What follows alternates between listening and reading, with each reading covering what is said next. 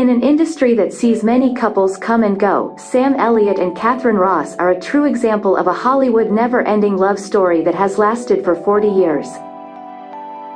Their 34-year marriage is amazing and it belongs on the silver screen.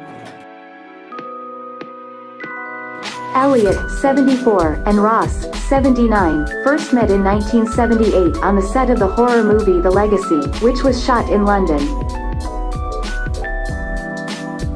While this was the first time they officially met, Elliott admits he had encountered the Ross before then, when he had a small role in Butch Cassidy and she was a leading lady almost a decade before. The actor was too shy to approach her, he felt like he was just a shadow on the wall.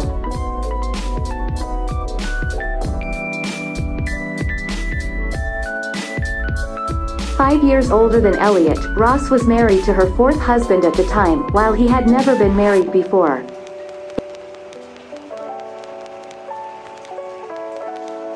In 1979 she divorced her then spouse and married Elliott in 1984. That same year the two had their daughter, Cleo Rose.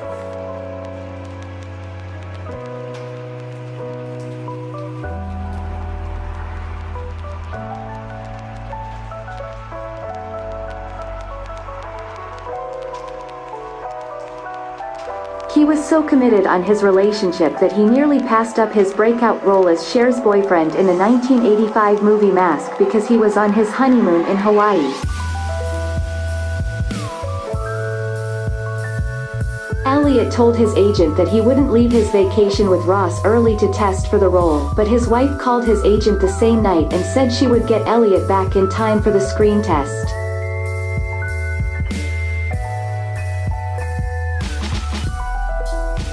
Anyone can fall in love but it takes two strong people who would never give up on each other even after having worst problems. Elliott told in an interview we have a common sensibility, but we also work at being together. You work past the shit, you don't walk away from it. That's how relationships last. What makes a marriage work is a mutual love and a mutual respect. There are peaks and valleys like everything else, but you have to push on.